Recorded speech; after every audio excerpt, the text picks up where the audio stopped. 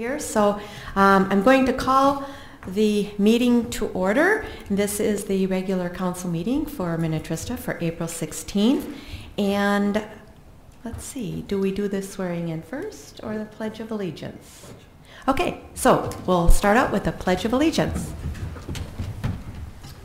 I pledge allegiance to the flag of the United States of America and to the republic for which it stands, one nation, under God, indivisible, with liberty and justice for all. So with that, our next order will be to swear in our new council member. Matt, I'm going to ask you to come up front here.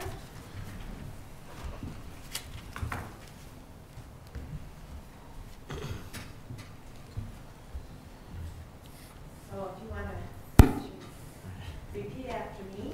So I, with your name, I, John Truffle, do solemnly swear do solemnly swear to support the Constitution of the United States, to support the Constitution of the United States, the Constitution of the State of Minnesota, the Constitution of the State of Minnesota, and to discharge faithfully the duties and to discharge faithfully the duties of the office of council member of the office of council member For the city of Minnetrista, Minnesota, for the city of Minnesota, to the best of my judgment and ability, to the best of my judgment and ability, so help me God. so help me God.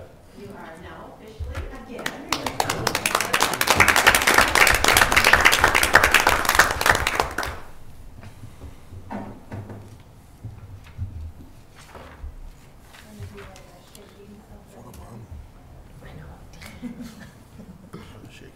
Probably you don't want to find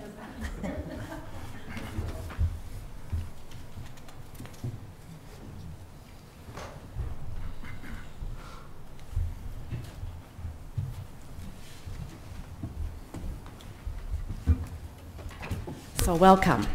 So next uh, we have our swearing in. Uh, we have our introductions. We have um, I'm Lisa Whalen. I'm the mayor, and to my left are council members Patri- Patricia Thole. Gosh.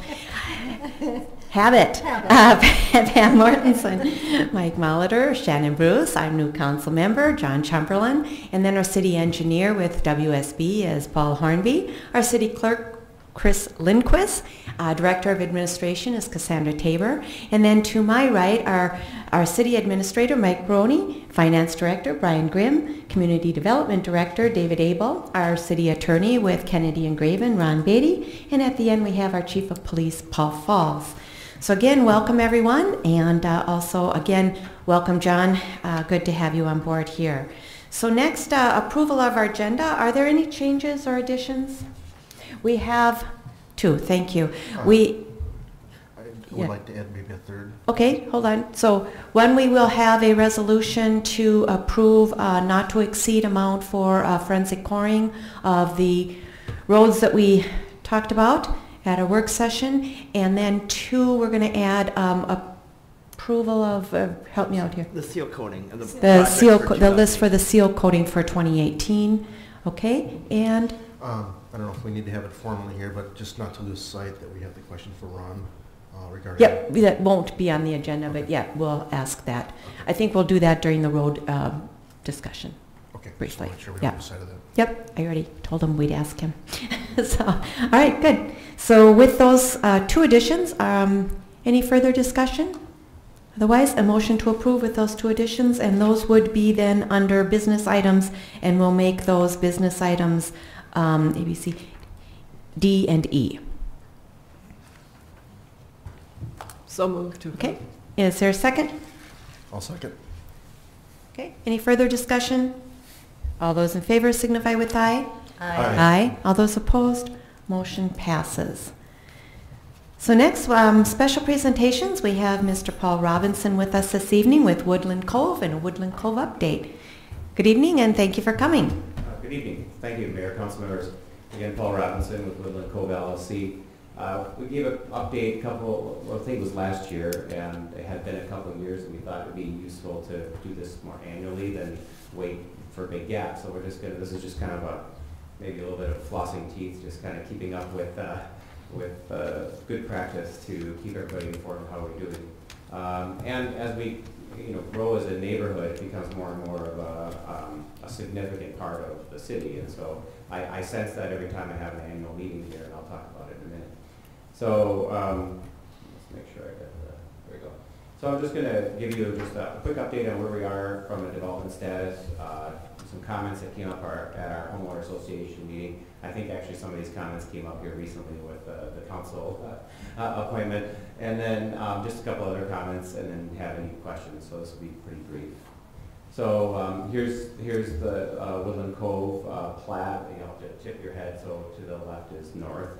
Uh, If you recall, back in 2014, we started with a large first edition. This was uh, uh, Mattamy Homes, um, 214 units. Um, To date, uh, now uh, that has changed over actually from Mattamy Homes to MI Homes. As you know, that's our primary builder, although Mattamy Homes is still involved doing the develop- development of phase three and two. So that, so far today, we've sold almost 80% of the homes sites in that first edition, so about 167 homes.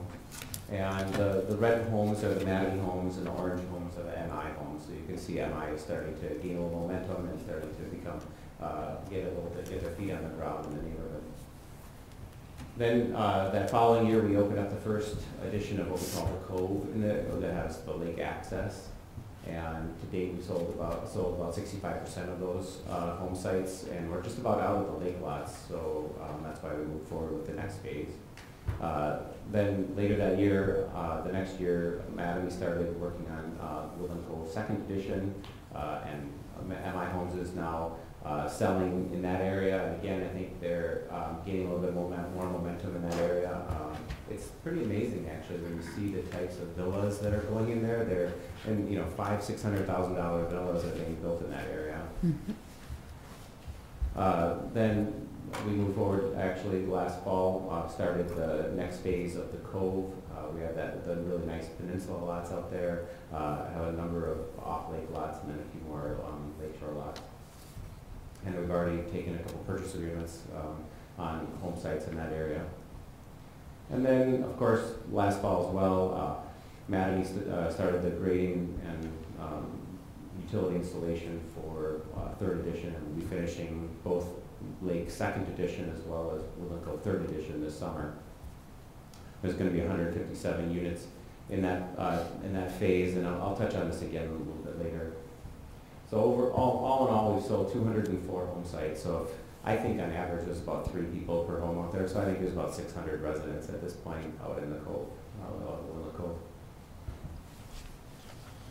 So just, this is maybe a little more advertising, we're gonna have a little uh, fall parade house coming up, NIH is gonna be um, building a, a home, we started right now, this is gonna be a pretty nice two point three million dollar house uh, coming this fall. We also. um, where is that one going to be? Let's go, uh, so that one's gonna be on the lake. Oh, okay. On one of the lots, okay. Yep. Yep. Yep, it's gonna be on, on one of the lake lots. Uh, Then uh, another lake lot, uh, Charles Cudd, coming in spring 2019, we're gonna have kind of play to the empty nester. This is an empty nester, main floor master rambler on the lake. Uh, uh, I'm hoping that after many conversations, probably 80% of my conversations are with empty nesters, that uh, this will take hold on the lake. And then, uh, with, and then Gonyea is definitely gaining uh, some traction in their area. They, they sold their, we believe, they took a purchase agreement on their current model. They sold the model they had in the fall parade. They have, we're having another one that they are finishing up just now that was gonna be their model that they sold, and now they're gonna be starting this model on lot seven, which is kind of, you can barely see it there. Um, and that's coming for the fall parade twenty eighteen. And then, um, MI Homes is going, introducing another, um, product, this small lot, single-family product, which is, will be interesting to see how that does, um, in the neighborhood. It's, from what we hear in the marketplace, this is really what a lot of people are demanding. They really can't find new homes in the three hundred thousand range. And so these are nice homes on smaller lots, and it's really the trend that we're seeing across the metro area right now. And, and then, of course, the, they're, they're, we cut back in of townhomes in this phase to accommodate the small lot, single family, and so there'll be some, some townhomes as well. How are townhomes selling? Townhomes are selling very, very well. Mhm, That's I what mean, it's thought. really the only product, I mean, if you look at the townhomes at Woodland Cove right now, I mean, it's either empty nesters or, you know, single people, you know, Yeah. you know, people trying to get their foot, you know, they're just getting their first job, they're trying to buy a house, I mean, they can't afford three, four hundred thousand dollar homes, so they need to find something in the two hundreds. And really, townhomes is the only thing Mhm. That happened. I, I know when we first got the townhomes approved as a part of Woodland Cove, we were very nervous about whether or not we'd ever be able to sell any, because at that time, there was all these lawsuits about the maintenance, and, and really, townhomes were dead at that point. Yep, they were. I think it was, I'm glad we stayed the course, because I think that in the end, it's become, it's come back as a product that's pretty much in demand. I've heard it, it is, especially now. What are those, um, the townhomes, what are they range? I think that they, Ranging? they start in the two hundreds, low two hundreds, to okay. To two Mhm. And then, so as a part of uh, Woodland Cove Third Edition, we're gonna be bringing that trail through the Von Blon Woods. We have to do a little wetland delineation to make sure that uh, there's some boardwalk sections that will be installed, and we're gonna do some trail. Uh, But then, we're also taking that trail through Third Edition, so we'll have a trail basically from the clubhouse all the way down to Highway seven to the underpass. And then uh, with this phase, we also have a couple commercial areas that we are ready to be marketed, and so we'll see if we get any traction on commercial. I mean, to date, our conversations on commercial have been really more about um, wanting more people to show up, and so Mhm. first. And, You know, I think it's still gonna be a good location, I think that it eventually will sell, it's just a, we're a little on the early edge of being able to get much there. Residents all want it, of course, you Mhm. know. And then, um, so then we had the, uh, homeowner association meeting, very well attended, I'm trying to think, 80, 90 people showed up. Good. Um, we're gonna, we're gonna bust at the seams in that clubhouse, you know, for their meetings, so we move them, we're gonna move them to the summer now, so we can have them outside.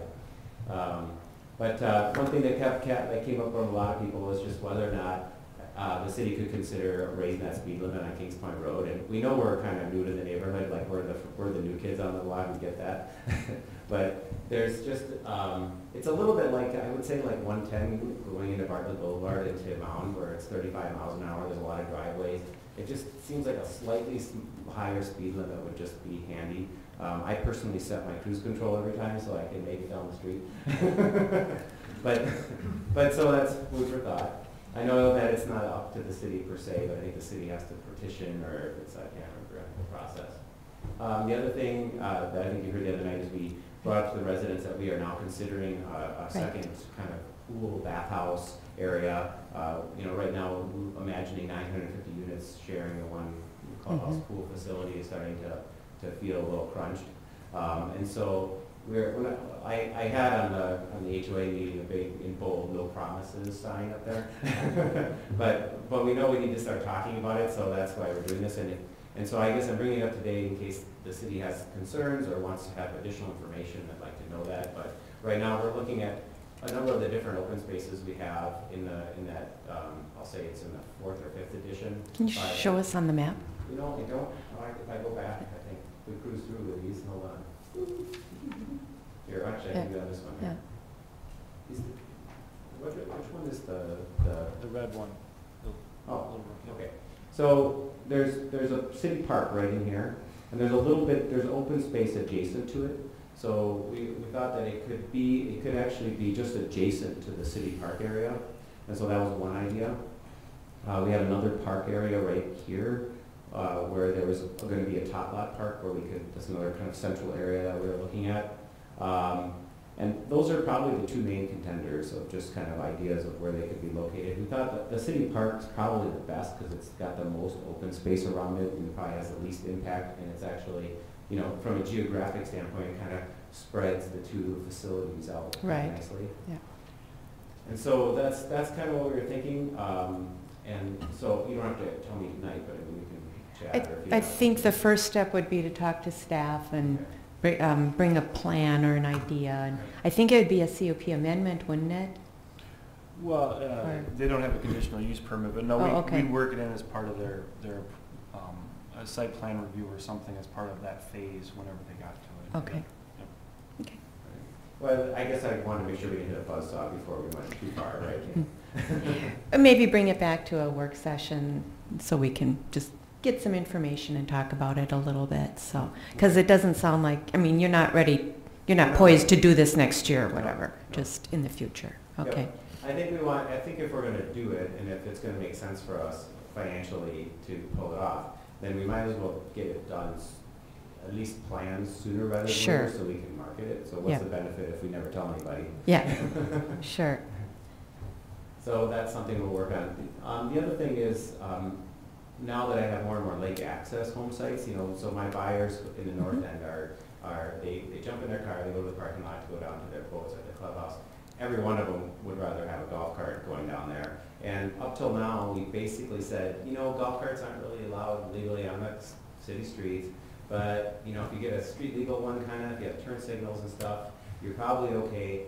Um, the problem is, is that the way, the way we've been telling people is that, you know, one person complains and it's possible that they just could go away.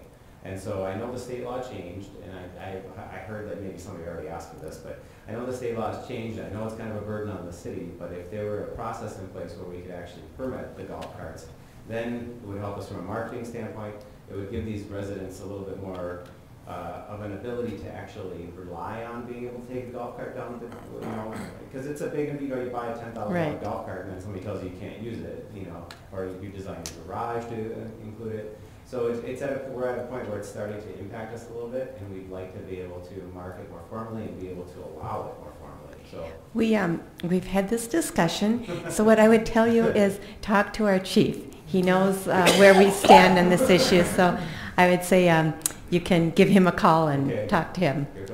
Okay, All right. Um, And then lastly, uh, one of the things that, I guess we're, we're starting to bring it up more, a little bit more formally with our residents and, and now with you, that, uh, you know, we built that underpass, it was probably seven hundred thousand dollars. We now have a trail down to it. Uh, People have been telling us when they bike that segment of eleven down to the park entrance, it's kind of dicey. There's not a really good, good shoulder there, um, especially if you're trying to bring kids down on bikes. And so now we have a couple hundred people living there, or, you know, six hundred people living there that are going to have access down to seven and want to get into Carver Park. And that was part of the Mhm. sort of dream of being able to live out here and have this connectivity. And so it's in the twenty, here, I'll go a little bit further so you can see where we're talking about. So that's the trail segments, what's circled now that we're going to be putting in next year or this summer. And then the segment that, that is scheduled in the CIP for 2019-2020 is this yellow segment that you see highlighted here. Mhm. Uh, Actually, in their, in their plan, it says twenty nineteen, but now we've had a couple of residents ask them about it, and so they kind of like go, well, maybe twenty twenty, you know, like, they, you know, can kind of see it sliding, because obviously there's a lot of demands on their time and money, um, but again, you know. Probably wheel.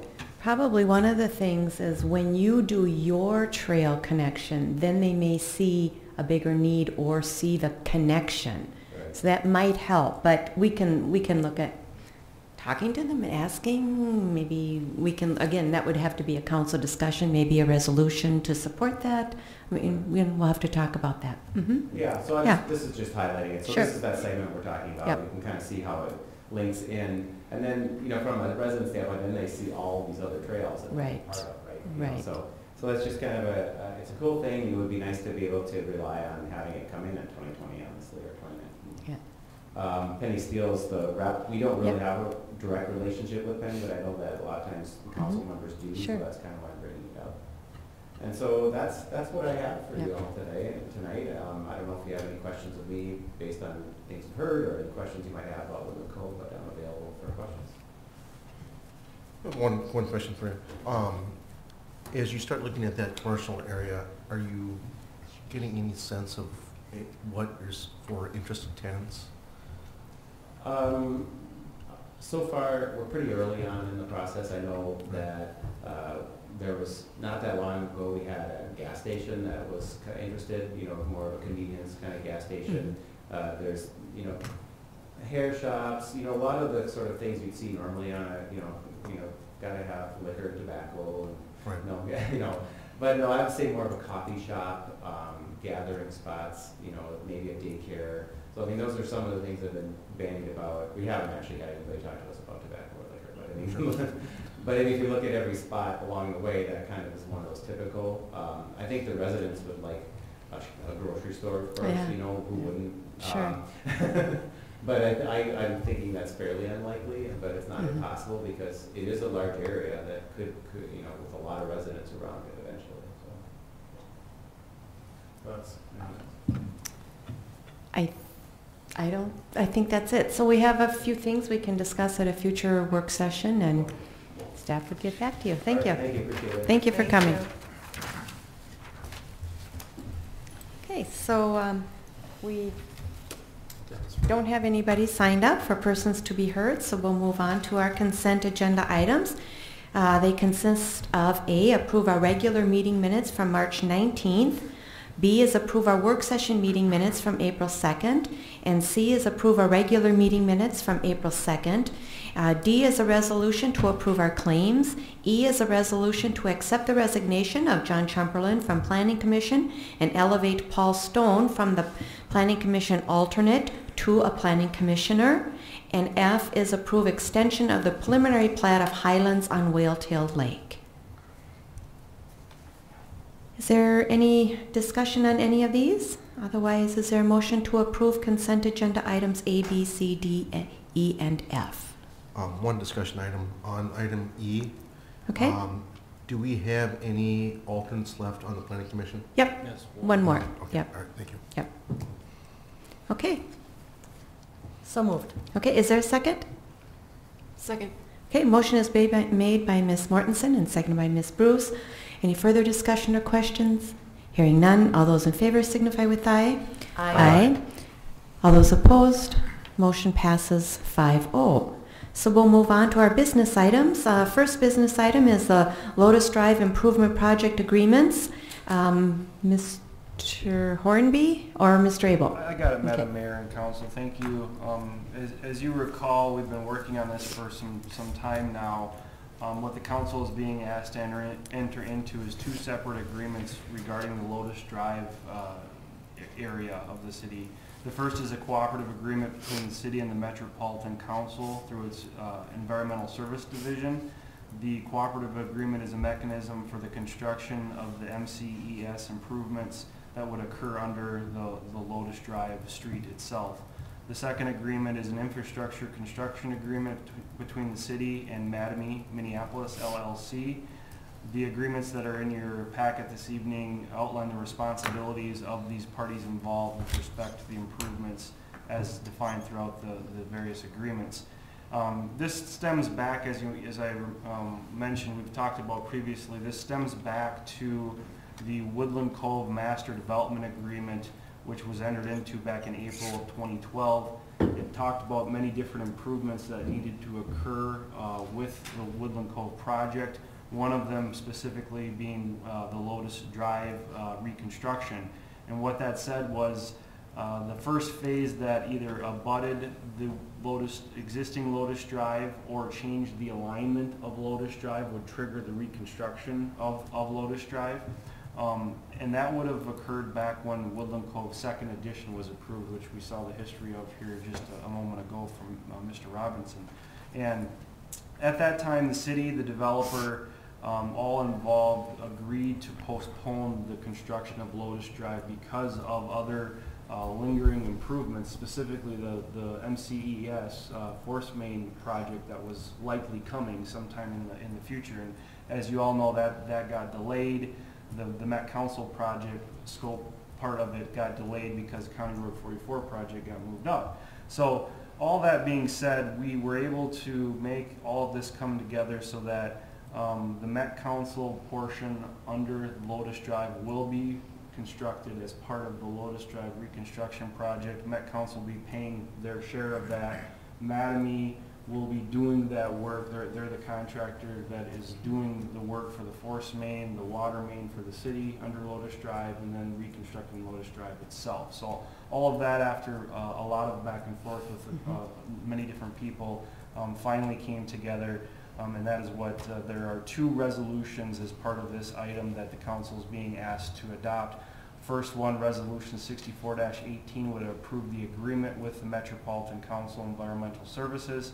Then the second one, Resolution 65-18 would approve the infrastructure construction agreement with Mattamy, uh, which outlines what, what work they'll be doing and how they'll be reimbursed for that. So, as I said, there is, there, uh, Met Council is paying their, their share of it. There's no direct uh, fiscal impact to the city as part of these projects.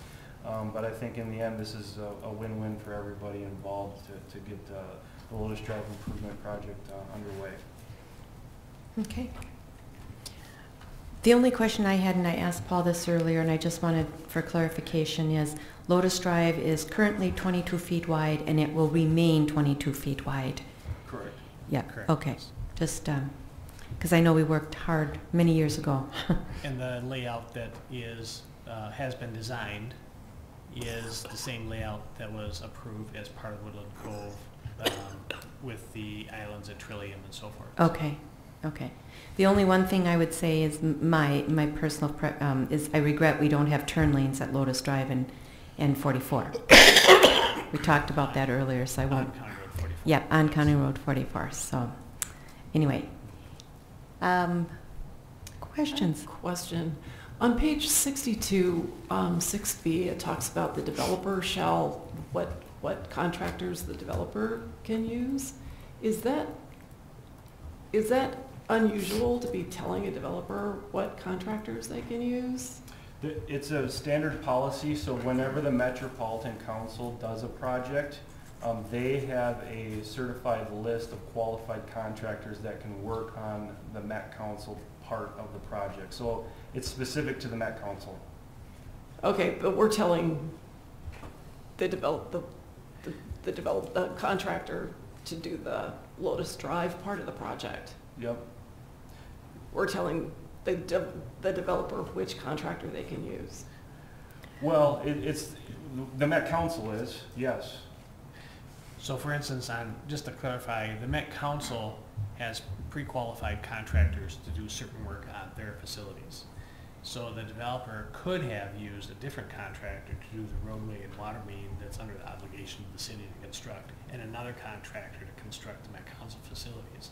They put it out as a bid package as one, and they selected a contractor, a good contractor that is on the Met Council list. So that's how this hap- happened to work out. Okay, and is, is the developer okay with that? Mhm. Yeah. Okay. Mhm. Probably get a better price versus having two Yeah, or I three just- different contractors, yeah. Yes, as Paul was saying, I mean, that's really the issue. On our piece, they could have used somebody else. It was simply more effic- uh, effective, cost-effective for them not to do this. Use this. the same company. You know, I mean, thi- this is a somewhat peculiar deal for the reasons that we've talked about, because we were trying to deal with two separate agreements that were coordinated. It's taken a long time Mhm. to get this. Uh, The council approved Woodland Cove Third Edition in November, and we've been negotiating these two agreements since then, which needed to parallel one another for all the reasons that we've talked about. And the big benefit, and I know the council is aware of this, is that what we avoid is Mattamy doing a project this year, putting in a new road, and then Met Council coming along in a couple of years, tearing up the road and putting in their project. Mhm. Right. Okay, Thanks. good. Any other questions? Okay, um, hearing none, then is there um, a motion to approve Resolution 6418, which is approval of the agreement with MCES, and Resolution 6518, which is the approval agreement, approving the agreement with Mattamy Homes? So moved. Is there a second? Second. Mr. Tschumperlin beat you to it, Ms. Ch- Bruce. Um, So, um, Ms. Bruce, uh, Ms. Mortenson made that motion and Mr. Tschumperlin seconded that. Any further questions or discussion? Hearing none, all those in favor signify with aye. Aye. All those opposed, motion passes. And ne- next, we have approval of our construction observation proposal with Foth I- Infrastructure. Uh, Mayor, members of the council, um, so Foth Infrastructure is a consultant that is also pre-certified by the Met Council to do work for them. Um, They had been the uh, Met Council's consultant working on the St. Bonifacius Interceptor project, and as you may know, that one extends from Highland Road through the eastern portion of Woodland Cove down Lotus Drive and into the regional park. And so that one was put on hold. However, uh, the preliminary plans were well developed, and they already had gone through a number of reviews on those plans with staff, and had the street plans pretty well laid out. And so, as part of the, um, uh, getting to all this agreement with Mattamy and so forth, it made sense to have both complete that design, both of the Met Council facility and the city street and water main system with review from staff. And then um, also, since they are the engineer of record, to have them also be involved as the construction observation team as a consultant to the city. So this agreement, in meeting the Met Council agreement, has both as a, as a sub-consultant or as a consultant to the city. And then under, um, this situation would have uh, oversight by your city, uh, oversight. So for the work, um, Foth has prepared a proposal for, um, to do the, to do the construction observation and construction administration for the um, Lotus Drive improvements. This also includes the, um, the portion of the Met Council construction. The surveying and geotechnical materials testing will be done by the developer, as um, has been the case with the development projects. Uh, Foth has their fees estimated at one hundred and eighteen thousand, three hundred and eighty dollars uh, for the work as described in the timeframes. It was a three-month period for construction. And that uh, WSB for construction oversight would have an estimated amount of twenty-four thousand dollars. And we estimate that amount because, you know, for the most part, we're, we're having Foth be our representatives out there, but they will have to run things through us such as shop drawings, there'll be meetings, Mhm. there'll be some coordination on site. So that dollar for your city engineer would, um, is estimated at twenty-four thousand. Foth has submitted their proposal as a not to exceed for those, for that three-month period of time, which includes uh, preparing record plans as well. Um, We're asking, uh, uh, council to approve resolution sixty-six eighteen, and that is the proposal with Foth Infrastructure for the Lotus Drive Improvement Project. All costs associated with this improvement is a pass-through to the developer. There's no cost to the city for this work. Okay, with that um, resolution, it also includes the um, 24,000? The- Correct, correct. Okay, not to exceed, I, I think it said not to exceed. It says estimated. It's estimated for. I'm sorry, thank engineer. you. Okay. So what is the difference between estimated and not to exceed when we see this? When I put an estimated fee on something, it's because I, there's, there are influences that I have no control over. I don't have control over the Met Council, and I don't have a control over the, the um, developer's schedule. That is up to them.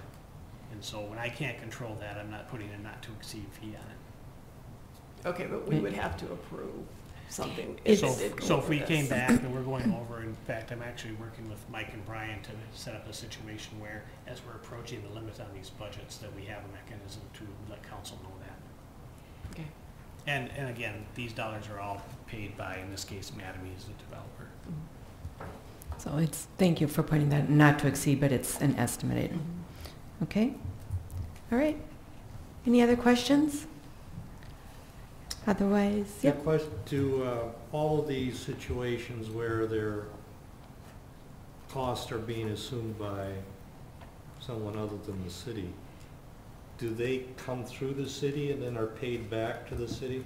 Is that the process? Yeah, We bill them back, so we'll incur them and then we bill them back to the developer, the land use applicant, correct, yep.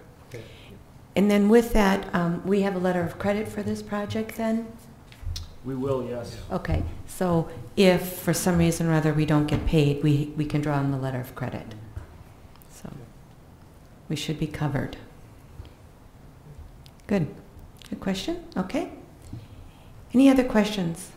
Otherwise, is there a motion to approve the construction observation proposal as presented? It would be resolution number 6618. So moved. Okay, is there a second? I'll second. Okay, motion has been made and seconded. Ms. Mortenson made that motion, and Mr. Molitor seconded. Any further questions? Hearing none, all those in favor signify with aye. Aye. All those opposed, motion passes 5-0. So next, uh, we have a change order for the Enchanted Lane Tuxedo Road and Grandview Improvement Projects. I believe this is Mr. Hornby as well? Yes, Mayor and members of the council, um, as you're aware, the um, Enchanted Lane, Tuxedo Road, and Grandview Avenue project was well underway last year when we were interrupted by the Met Council.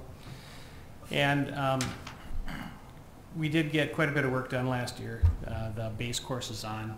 There's minor grading that remains, and then some driveway tie-ins that remain, and then the final lift of bituminous and the boat launch. Um, That's a point of negotiation between uh, the city city staff and uh, the Met Council to try to get the boat launch restored and open back up with this project. Um, So the change order is primarily for some grading work and some additional work that was added to the project um, at the pre-con meeting, mainly the, adding a sign that uh, indicated that the um, boat launch would be closed for the um, duration of the construction. Uh, Some of the uh, chimney seals that reduce inflow and infiltration on the manholes on Grandview Avenue. And uh, the remainder were for grading. And two of the items were for driveway modification. There was, um, right when you come into Red Oak, there's two driveways there, um, very close proximity.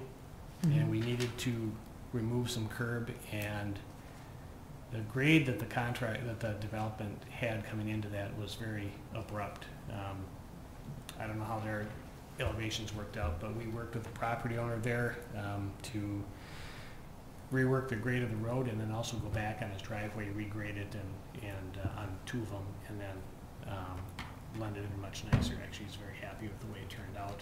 Um, I'm happy with the way it turned out. It came out, I couldn't have asked for it to come out any better than it did and the transition of the roadway in that area.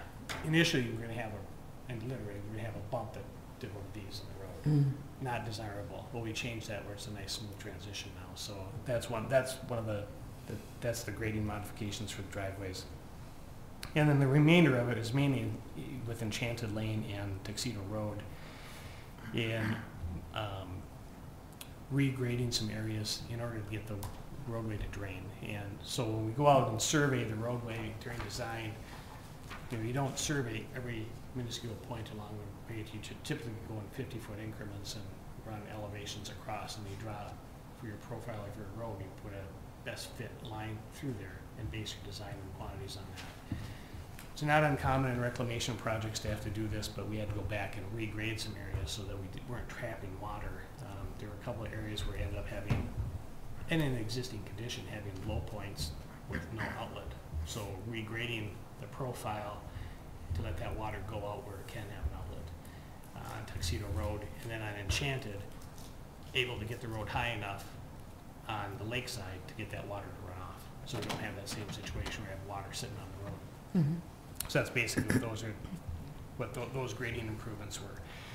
There was also um, some grading improvements that in work orders, the amount of about seventy-six hundred, almost seventy-seven hundred dollars that we promptly forwarded on to the Met Council to pay because it was additional work that was um, necessary due to the delay caused by the Met Council and their force main. So for instance, in this I case. can't give them any more? We're working on it. I did also send them, I think it was about thirteen hundred dollars in additional costs for engineering time.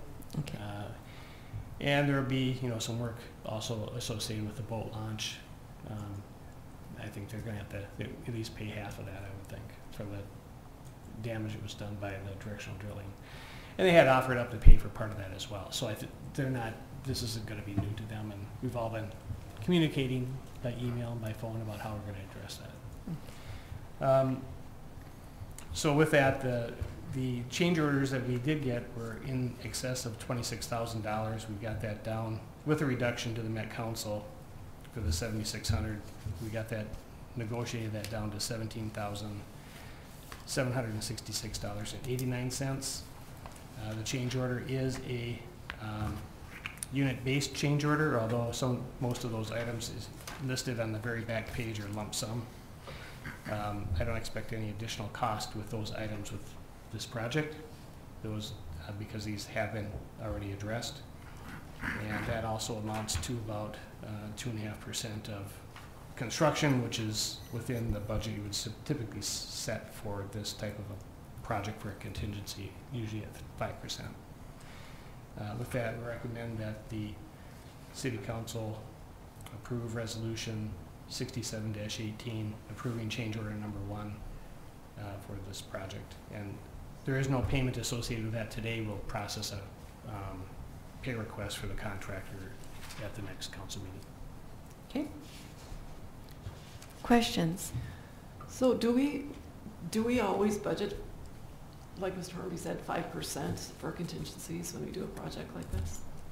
Yeah, I mean, at least a three to five percent or whatever, yeah, yeah. And what was budgeted on this? Do you remember? I mean, it was, we did, we did Halsted at the same time, um, I wanna say it was the five percent, is Okay, what but I'm it's within. recalling, yeah. And I think I'm even, yeah, I'm thinking on the PFA project, it was the larger amount, so it was three percent, but then it's usually between that three to, to five percent. Uh, you, you know, on, a- on a smaller project, there can be a little more variation per- percent-wise or whatever, obviously, Percent-wise, smaller yeah. dollar to smaller dollar, whatever, but, um, yeah, we should be there, and, and I think there, this should pretty much be, there shouldn't be too many other change orders coming that you're aware of, right, with being the project wrapping up this spring, or? Uh, no, not that I'm aware of. There's some driveway work that needs to be done, but I'm antici- anticipating that can be done under the contract-based items we have already. the Okay. Unit rate, unit price items we have. Okay. So when the contractor has to go and fix some of the stuff that's falling apart from the base course, I assume that's part of the overall contract and not a change order for that? That's not included in the change order, that's included in the unit pricing on the contract. We had, I think, two of the things that we saw happen, there's a couple spots where, you know, this was very late in the year paving.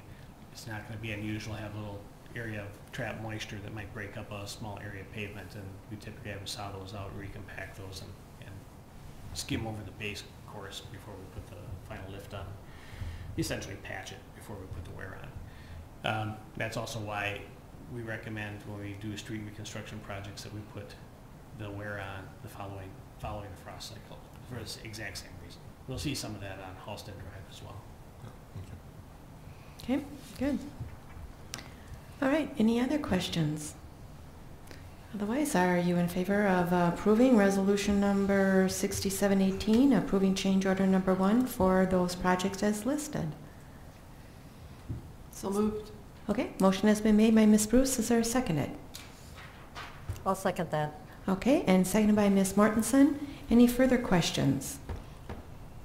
Hearing none, all those in favor signify with aye. Aye. All those opposed, motion passes 5-0. So next, um, we had a lengthy discussion, a very good discussion at our work session. So item number D is adding uh, forensic coring for eight of the roads as we indicated in our work session. We talked about um, which projects we're going to be doing for 2018. We, we talked about the overall five-year and beyond um, capital uh, pavement management plan, and this we're bringing back the forensic coring for the eight roads as listed. I think it's eight roads that we listed um, in our work session, and this would be not to exceed $5,000. Um, staff, anybody want to add anything to that, or Do you want the names of the roadways that we're gonna quote? maybe just for the record might be good? Okay, So these wouldn't necessarily all be performed as far as a treatment for the roadway in 2018, just so um, our Be- audience is clear on that. But, Right. uh, We have Hunter's Court, Pheasant Crossing, Glacier Court, those are all in Hunter's Crest. And then in the Turtle Creek area, we have Forest Court, Turtle Road, Stone Creek Court, North Home Drive, and Eagles Nest Drive. Okay. And those we're just going to be testing at this point to determine if we can do mill and overlays on those roads. So thank you. All right. So is there a motion to approve the forensic coring not to exceed, and this is a not to exceed, uh, 5,000 for those eight roads as Mr. Hornby just listed?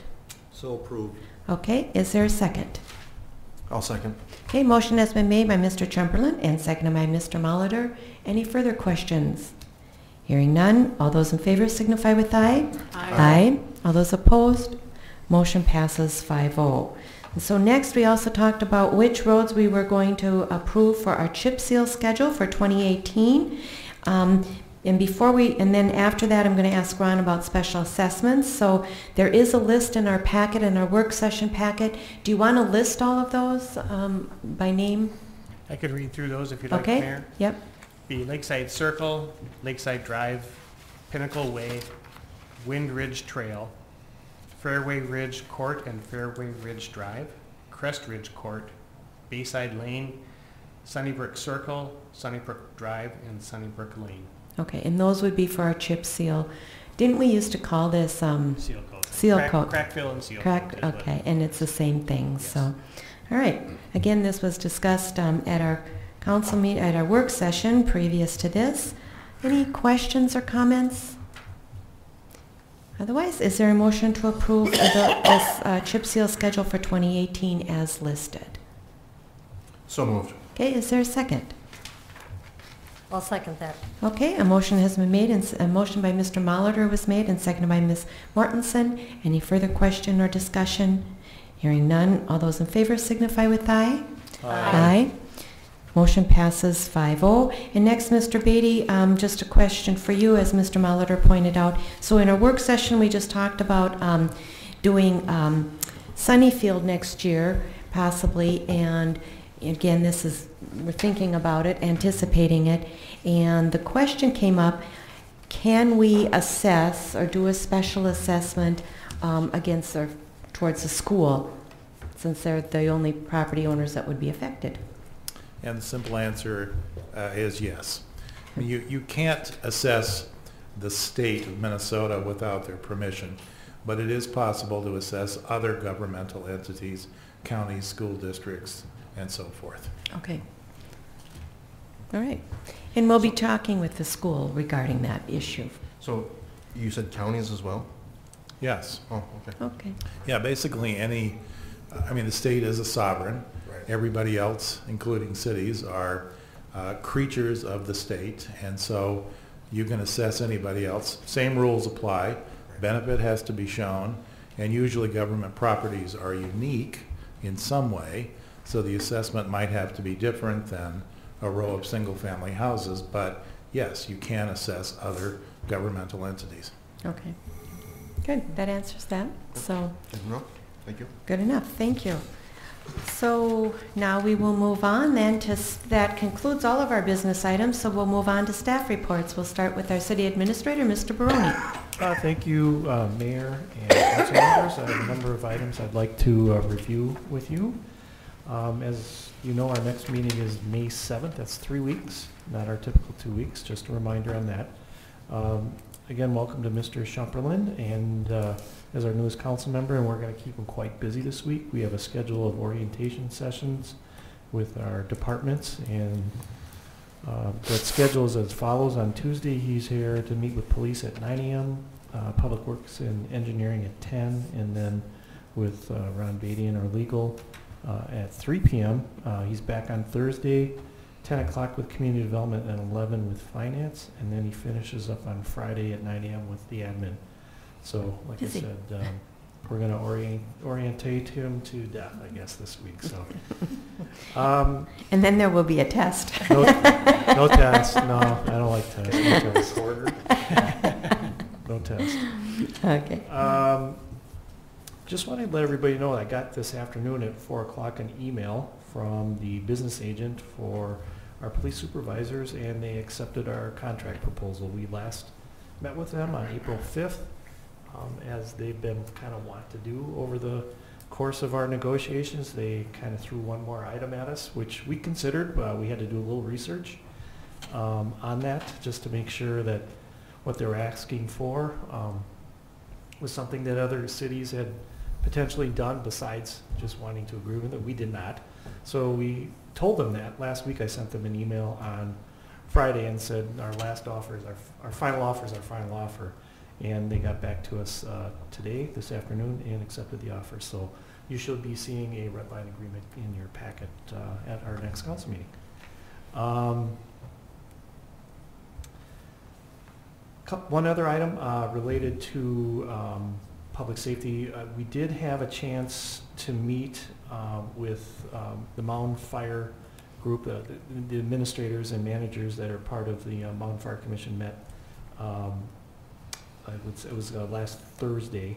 And essentially, this is again to dis- to discuss the, the- the kind of the ongoing situation with the city of Minnetonka Beach. They've been considering pulling out, uh, trying to renegotiate their contract. It really hasn't sat well, I would say, with all the other entities, but nonetheless, uh, the Mound Fire Department, uh, Chief Peterson, has been working diligently. We had a meeting, um, I would say about a month, month and a half ago, or so we Mhm. kind of talk about it. We had somebody there from the uh, Minnetonka Beach City Council to kind of, and their administrator to kind of give their point of view.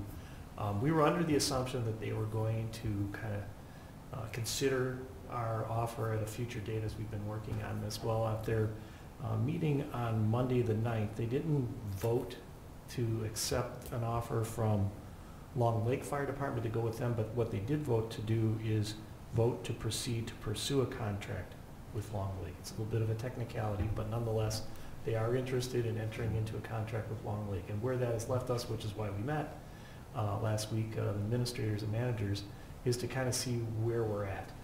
Um, It's not a done deal that they're leaving. I think there's some uh, divisiveness, or I don't know if they're divided, let's put it that way, the council members on that particular council. So it's not a done deal that they are leaving.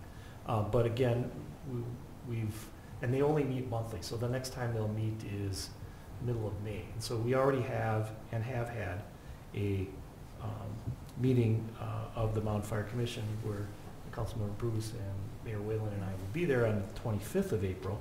So we'll have plenty of time to kind of talk about where we stand with them. So we'll see what happens. Um, I think we can manage our way out of it one way or the other, whether Minnetonka Beach stays or not. I hope they stay. I think it's in our best interest to kind of keep the group together in the Mound Fire Commission, but that is to be determined. So we'll keep you updated on that. Um, The city administrator performance review will be at our next city council meeting on May 7th.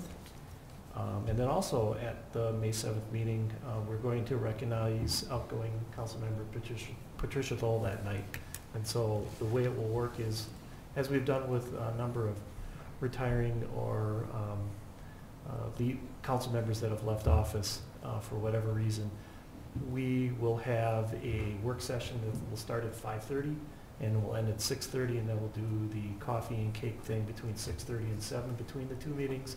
And then we'll come back at the regular city council meeting and then we'll recognize her with uh, um, plaque for her years of service, not only on the council but also on the planning commission. So um, I think that's all the items that I have. So Okay, a couple others from which to hear from, so. all right, David? thank you. Uh, Thank you, Mayor and Council. I've got three items.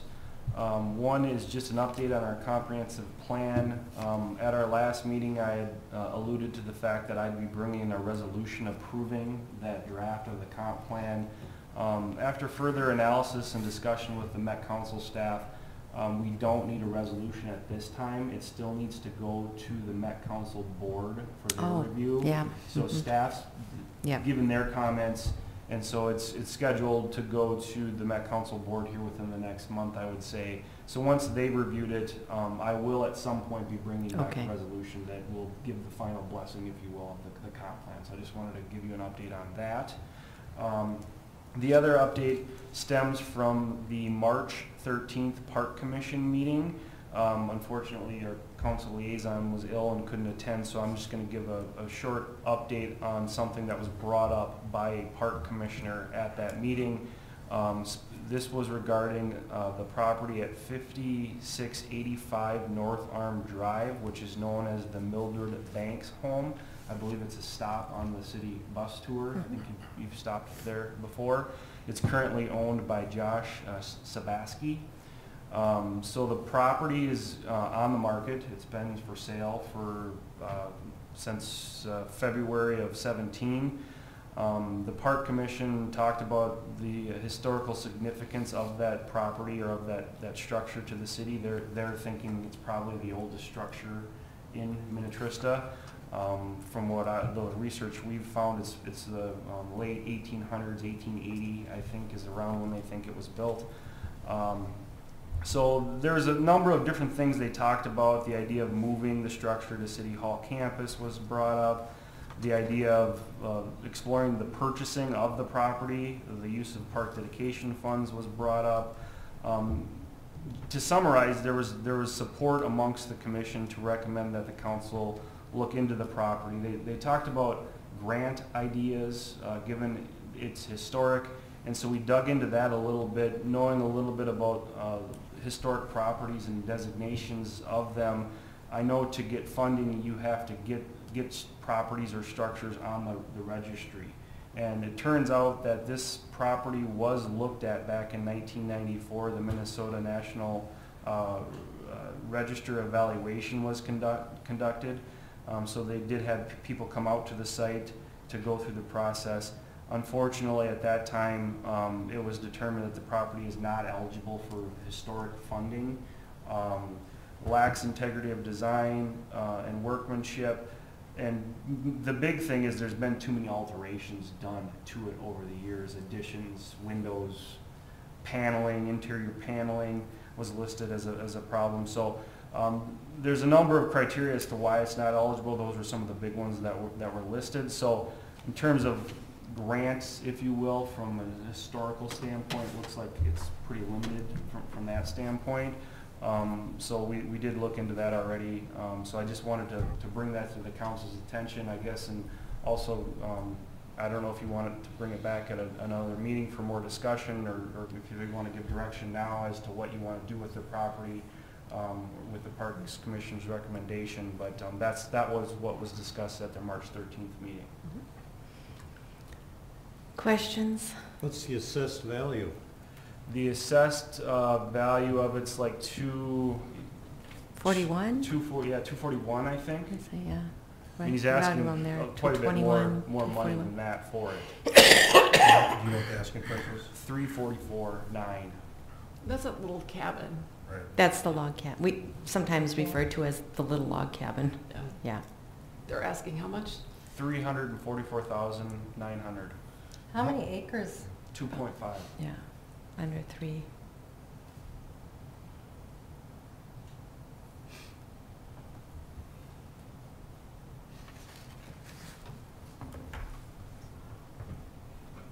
So. I'm, I'm inclined to let the market find a buyer for them. I don't see a reason why the city would purchase that. If somebody asked, and I know nobody has it, but if somebody asked, I would say the same thing. I would agree with that too. I would agree as well. I mean, if, if the alterations hadn't been done and it could be listed as a historical, um, on the historical register, then we would be eligible for grants. Um, it might be a whole nother story. If, if there was a group of people in Minnetrista that wanted to take it on as a private fundraiser entity type thing, you know, more power to them. Um, yeah, there's a number of logistical things after thinking about it, because the owner of the property may not even want it listed as a historical property, because once it's listed as that, there's, you're limited on what you can do with the building. So that would be the other facet. You'd have to check with the property owner to see if they're interested. And then there's also the thing, well, if he wants, he, they, he, they uh, want to sell and they get an offer, what, you know, it's, it, there's just some logistical complications there, so. But, um, I also think, you know, it's not just purchasing of it, it's also maintaining it. um, right, restoring it, yeah. well, And securing it. Mhm. Um, You know, it's kind of out of the way. It's, I can just see that being a haven for vandalism and uh, Oh. other things of that nature that um, I think could really be Mhm. pretty hard to to take care of, really. Yeah. I mean, I think it'd be great if everything could fall into place and, you know. Yeah, a lot of ifs and buts there. Yeah. Okay. Okay, that's fine, Madam Mayor and Council. Okay. The, the one other issue I wanted to uh, bring you up to speed on was if you'll recall, we had a, uh, Mr. Opheim uh, attend one of our recent council meetings regarding a noise, noise issue and a, a noise uh, situation that he um, is dealing with. We did get an opportunity to get our building official and building inspector out to hear the noise for themselves. It doesn't run all the time, so it took a little while to coordinate that, but they did finally get out there. Um, it is, um, they, they, you can hear it. I mean, it, it is, it, it sounds like a fan. We do, there was some video taken of it with just cell phone video, but, um, you know, they, they did hear it. It does appear to be somewhat noisy, if you will. Um, but, uh, so the, the question, I guess, what we're, we're looking for a little bit of direction from on council. Um, Ron and I had a discussion today about, um, and what Mr. Opheim was talking about was the Minnesota Pollution Control Agency noise decibel regulations, which we don't currently have in our city ordinance.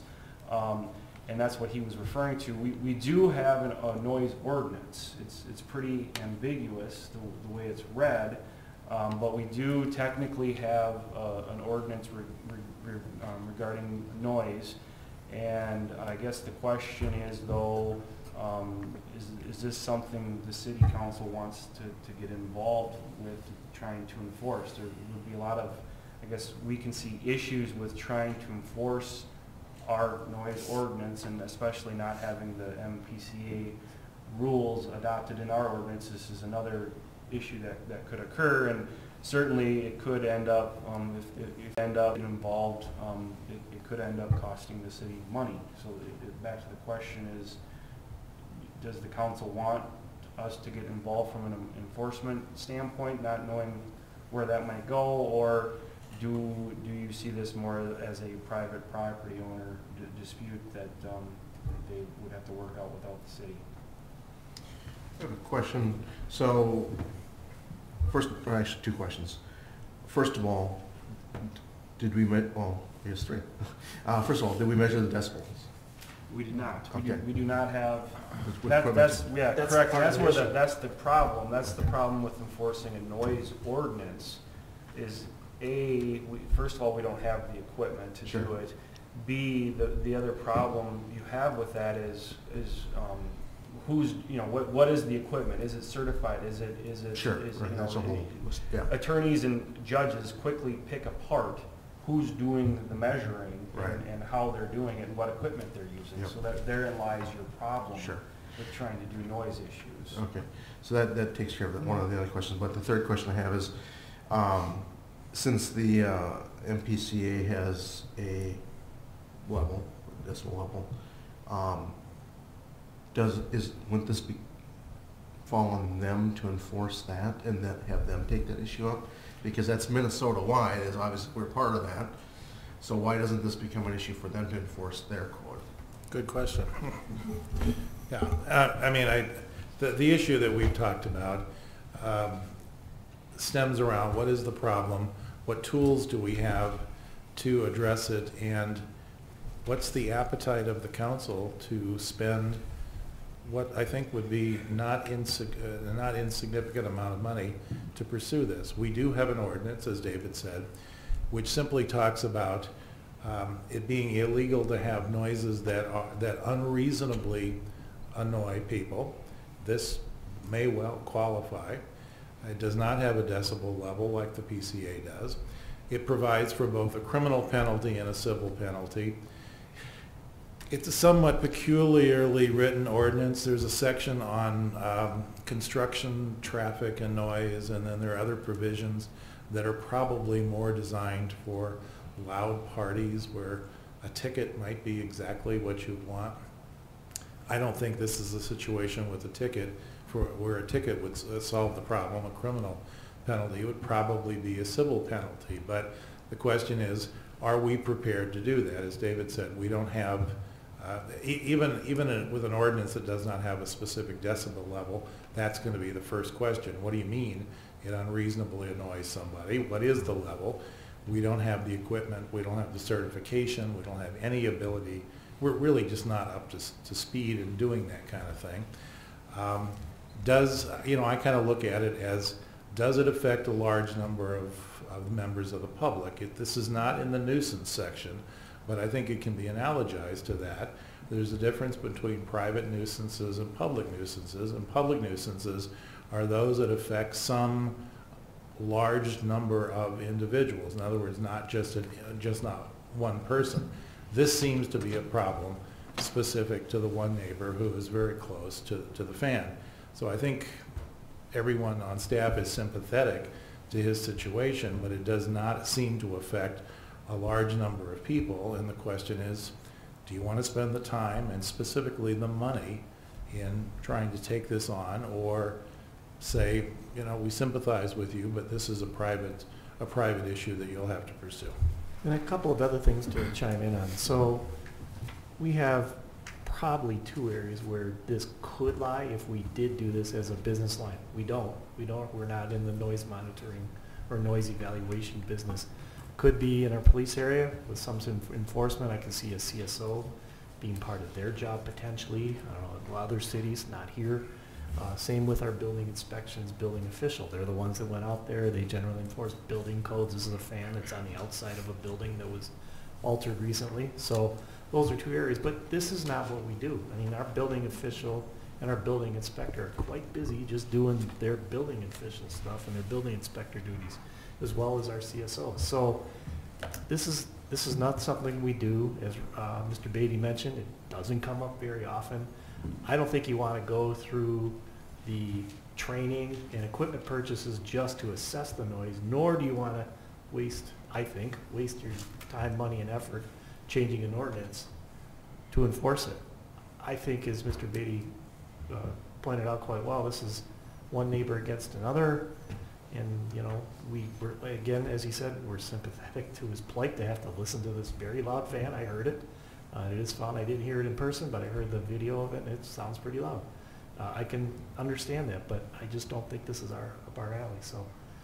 And I, I seem to recall when he was here talking about the problem, that it seemed like he hadn't really exhausted all of his, um, that, just talking to his neighbor about the problem, he seemed to leave that door open, that he said that there was a possibility that it might still be resolvable. Did That, that was brought up, that, that's still the hope. Mhm. Um, we've, we've talked to both sides, so I don't, I guess, I don't know that that's probably likely to occur. There, there's some tension there, so, um, that's the, Mr. Oldtime's hope, is can we have a conversation and try to figure this out? Um, Mhm. I, I don't know that both parties are willing to do that, though. I know, I believe uh, Nick Olson just last week called the other party, and I don't think it was met with a lot of acceptance, like, sure, I'll take it off my house. I don't think we got that, but, you know, it was just more to point out the problem. So I think they're aware that we're aware. Mhm. I think they're, he's also aware that his neighbor's not happy with it. So our hope is that, is, uh, Mr. Abel said, is maybe they can get together and talk, but we've tried to contact both. They don't seem to be agreement on the few conversations that they've had, so I don't know if it's really our job to get them to talk, but hopefully they will. You know, and one ordinance that, that we can enforce is the building code, but apparently there's no violation of the building Right. code in any of this. So is this, this is, if I remember correctly, this is an exhaust fan for a fireplace, gas fireplace. Correct. Uh, in your experience in listening to it, did it sound abnormal to other fireplace fans? I mean, we have a lot of them in the city. Yeah, it, it's, it's loud. It's Pretty louder, and it, I Right. guess, um, from our uh, research of it too, it's more of a, uh, it's a big fireplace. And that's why it's more of, I guess, what you would call a commercial grade Okay. fireplace. Still acceptable in residential applications, but, um, there's, a- so it's not only the size of the, the fireplace itself, and that's what requires the size fan that you have, Right. but they're also um, using it purely as a- an aesthetic feature. It is not used to heat the home, Right. right. which means that all of the exhaust, typically you'd split it 50-50. Half of that air would come into the house and heat your house. Oh, okay. The other half would go out for the, to- to to circulate and ventilate.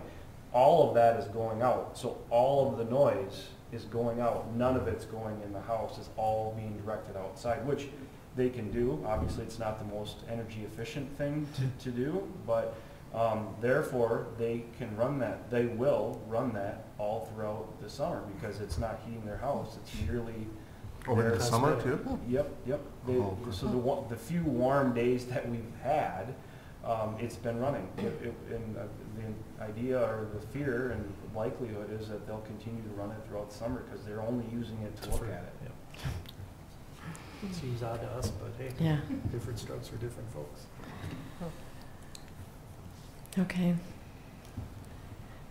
So at least we wanted to get you Yeah, updated on all that. right. And I don't know where. Well, the- right now, I think we we go just with have a this, but- lot on our plate. We Yeah. have a number of ordinances that we're looking at. A um, question for Mr. yeah. Batty. Can this homeowner pursue a state resolution through the state of Minnesota? Well, he probably could. I, he could also pursue a private nuisance. I Mhm. mean, he's not without remedies. Okay, I'd, I'd Yeah. encourage to pursue those. Yeah. Yeah, Yeah, we can certainly help them and tell them that, but ultimately, I think if this guy's trying to prove that this is exceeding some state uh, threshold, that he's gonna have to hire somebody and Sure. Right. certified to measure it, Right. and not us. Yeah, he's, he's apparently measured it, but, you know, the problems with those devices and light meters and everything else is you have to have high-quality equipment, you have to be certified to use them, the equipment has to be calibrated every once in a while, and you be able to, be able to test that I pointed the thing and it read such and such, and I know what I'm doing, you know, and I, I don't know whether he's qualified or not. he- I But cer- certainly nobody here has. He has an iPhone app, so, I mean. Maybe there's download- other remedies. Maybe he could, I, I hate, I mean, build a, a soundproof wall on his property or something. I mean, you know, I mean, Moat. No, no, there's, So he there's can't come over and soundproofing. borrow. I don't. Yeah, I Yeah. mean, that might be another option. Well, I- I mean, it is unfortunate. I think everybody who's experienced it recognizes that they would not want to live next to it. It's Yeah. just, Ah, You know, even the simplest litigation is ten to fifteen thousand dollars, and do you want to spend that? Yeah, I'm not hearing you do. No. Okay. All right, thank you. Thank you. Um, and then city clerk, uh, Ms. Linquist. Madam Mayor, members of the council, at the last council meeting, um, there was a discussion on whether a newly appointed council member would become an incumbent for the election in November. I contacted Hennepin County for clarification on this. Um, I was told that technically, under the definition of it, of incumbent, the newly appointed council member, in this case, John Tschumperlin, would be the incumbent. With further discussion with Hennepin County, though, um, they do not use the word incumbent on the ballots. For city, For, for local. municipal? For Mhm. municipal and for many other races. Um, I know they do for, um, They do for judges. Judges. Yes, they do for judges, and, and they told me that's the only one they do use it for. okay, So you may see um, incumbent on, on a ballot, but it will not be under the local race. And I did, for, for my satisfaction, I went to one of the old ballots from 2016, and your name um, was not, incu- there was not the word incumbent behind your name. Okay. So, all right, all right. Thank you for looking But looking they are just listed first. No, they're No. randomly. no, it's a Are they- random. 'Cause I know It's- every It's a lottery. It's, it, they don't, they don't, uh, it's not first come, whoever gets, goes in first, or whoever signs up first, that is not the first name on the ballot. It's all It- total it's- lottery. It's a total lottery. Okay. And then every, every, di- every polling place is different then. Mhm. And so in other words, if, if the, uh, the people that file, there's three people that file, John, Joe, Sally, whatever, maybe Sally's first in that polling place, but then Sally's third in the next polling place, and Sally's second in the other polling place, so it, it rotates, yeah. That's different in Minnesota, because in Colorado, they listen first. Yeah, no, that, that is Yeah. not how Okay. it works in Yeah. Minnesota. So, Then Ms. Tabor, did you have one item? Yes, so, uh, members of the council, I just wanted to give you an update in regards to the email that I sent out last week. As I made everyone aware, um, Chad Bartley, our building inspector, gave his two weeks' notice last week. Um, He is looking at a, or he is going to another city position um, for just an increased compensation. And so we're obviously wishing him the best of luck for that, but I did want to let you know that we have posted for a full-time position. Chad's last day is the 25th, and the position currently is slated to close on the 27th. Um, As you know, depending on how hiring processes go, sometimes we've had to extend that in the past, so we'll just watch how that turns out. Um, And then the other thing that David and I have worked on um, this week as well is posting for a seasonal position. If you remember, if you recall, we've used um, Jack Mullen in the past seasonally.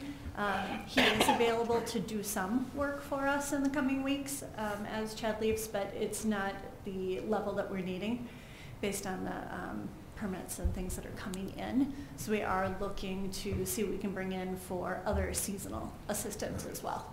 Dude, when you say, you don't mean seasonal, you mean interim? Um, it, the, It's the considered- use is Yeah. seasonal. Yeah. Yeah. But yes, you're, But you're yes. correct, Okay, interim. The purpose it would serve, the purpose it would serve would be that, but the term that's used is seasonal. Okay. Mm -hmm. It's a little different than private sector. Yes. Yes. Okay. So, All right. Any other staff reports? Okay. Um, So just, um, I just want to briefly mention, I know our Public Works has been very busy these last few days, and um, they've been, wor- I know, I just talked to Gary this afternoon, this evening, and he said that they were working like 17 hours, you know, just on, on Saturday, I believe. So they've been out plowing, and uh, thanks to them uh, for all their hard work and dedication. And I know the police have been out in this as well. Uh, so again, thank you for, for your continued service as well. We really appreciate it. So I know it's hard to get, it was very hard to get around. So we appreciate that. So I have a couple things. Um, one, I attended the um, Personnel Committee meeting, as Ms. Tabor said. I think we have another one scheduled for next week um, to do my, uh, Mr. Barone's review. Um, and then, um, let's see, I attended the Regional Council Mayor's meeting. It was very interesting um, defining our future uh, landscape for Minnesota, and it was uh, Gary Johnson who was with the Department of Forest Resources and Urban Community Forestry from the Minnesota um, Extension Lab and Nursery, and very interesting on how things are changing and what trees are good to plant in boulevards and so on, and maybe I can share more details about that at a later date. Um, and then also uh, the Director of Global Change Ini- Initiatives from the Science Museum was there. I also attended the Northwest um, Hennepin um, Northwest League, and uh, our speaker was um, Jim Atkinson with the Atkins from Hennepin County Assessor's Office. He provided us with a very nice, a very thorough report, and uh, uh, I can share some of those um, statistics with you maybe at a future work session because it's just too much to do right here and maybe staff can make some copies too. And then also I attended the Gillespie board meeting um, this past Thursday. So with that, I'm done. Oh, one other thing. I'm sorry. One other thing I want to mention is, so we have a new uh, council member on board, and we usually try and disperse, if you will, our um, commission assignments kind of evenly, so everybody gets something. So just a question. I know you're the commissioner for Pioneer Sarah Creek. John also lives in that district as well. I know you've had some complications with um, different meetings being the same night. So my question is, Yes. Okay. so my question is, would you be interested in having John do the Pioneer Sarah Creek and you be the um, alternate? Or Yes. would that work out? Okay, would you be interested in doing that? Um, it's once a month, but they do cancel one occasionally? Having said that, is that the third Thursday? It is. And that'd be this Thursday? Yes. I'm booked this Thursday, but Okay. otherwise I'll Well, take it. maybe, But your alternate can go. Yeah, okay, so this Thursday, uh, Ms. Bruce can go, and then from then going forward, then you can go. Okay. And so what I do need tonight is I need a resolution appointing John Tschumperlin as the Pioneer Sarah Creek Commissioner and representative from Minnetrista. I Do I- think you could probably do a motion, but if we can bring this back, put it on consent for the next time. Yes, we can because it won't be, It won't be so, effective until the following month, so Right, Yes. bring that because- back. Yeah, because we need to amend the um, appointments and designations Right, again. so there's a couple Okay, steps here. Thank you. So, Ms. Bruce, you'll actually go as a commissioner, and then next month we'll make that change. Thank you very much. So that's all I had. Oh, let's see, uh, WCC meeting, we had a speaker from the Harrison Bay Senior Living that is going up in Mound, off of 110. Uh, It was very interesting. It is a 72 apartment uh, home building. 20 of them will be uh, for memory support. Um, The leasing office is now open, and the opening of the facility is going to be, it's slated for October of this year. Oh, wow. Uh, It will have assisted living, enhanced care, and memory support. Um, What does enhanced care mean?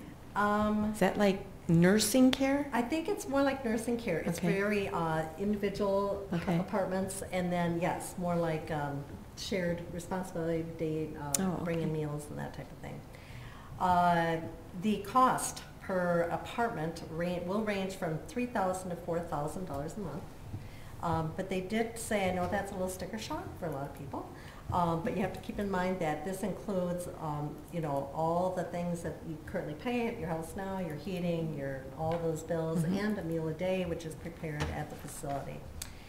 Um, What else? I think that was about it. Oh, I know. I asked them to do a booth at Trista Day so that they could talk to all the residents and see if there's anybody interested. Um, I went to the personnel meeting on the fourth as well. I went to State of the County I did, yeah, on the I did too. Thank you. Um, it was, ours was better, I'm sorry. I agree. Yes, uh, I was a I did, disappointed, I, I, I heard that from a number of people, that it was a lot of, I heard one comment, it was a lot of fluff. A lot of fluff and no answer, or question in the answer Yeah. period, which I was a little disappointed in as yeah. well. So, Um, and just a reminder that, uh, if you see the checks run across for the pig races, um, that money has been saved for us for this year. So it's really not money coming out of the city. It has all been sponsored by our great local vendors. Businesses. Businesses, Yeah. so. And Spirit of the Lake, Paul, the parade starts at eleven o'clock. They went back from one, now they're back to eleven. So if you guys are going to be doing that, It'll be easier to find, find volunteers for that. Yes, so, and if anybody wants to be involved in the parade. I can't this year. I, I've got other commitments, yeah. And I, I'm on vacation that week, so if anybody else wants to be in the parade, let me know and I will hook you up with a car. So, you want to go? You're practicing your way? Okay. That's all. All right. Um, LMCD, um, kind of piggybacking off of your comments on Hennepin County, um, we went through our grant process. Um, every year we have, uh, the arm of LMCD, Save the Lake, that raises charitable contributions. Uh, we have in the past funded Hennepin County because, uh, Hennepin County Water Patrol to have a dedicated officer on the lake, uh, Lake Minnetonka at all times, uh, because Hennepin County, um, in their infinite budget wisdom, cannot seem to find enough money to actually fund this public safety, um, fund everything else, but they can't find that. So we, we um, elected to once again uh, make that contribution to the Hennepin County Sheriff's Department to allow an officer to be on the water at all times. Um, we are also just starting the uh, budget process for uh, 19, uh, 019. Uh, The budget cycle runs July 1st, I believe. You have to s- certify it to the cities. We've certified the Yeah, cities by July by 1st. but I think 1st. the Yeah, I think the budget's, uh, yeah, it, correct. Um, So it's actually looking a lot better than last year's budget process. Uh, So uh, it looks much more doable than in previous years. Um, Not, there's still a lot of things that aren't funded at levels in the past, but at least it doesn't look like it's going to end up with a deficit, so. Okay, good, thank you. And I just have the Pioneer Sarah Creek meeting coming up on Yeah. Thursday that I'll be going to, and um, the Mound Fire Commission meeting on the Yeah, 25th. on the 25th, right. Yeah. It'll be an interesting one. Yeah. Didn't, I have a question about that, and just real quick.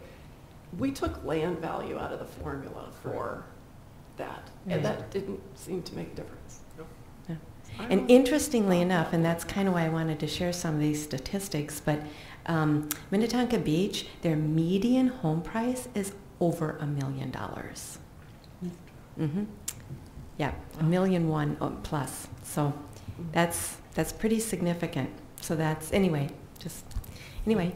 I think we figured out that homeowners might save about a dollar hmm. something a week with a renegotiated price. It just seemed Or really. fifty dollars a year or something, yeah. For the residents, so it's not mm-hmm. like they're thousand, I mean, total, it's a bunch of money, but per parcel.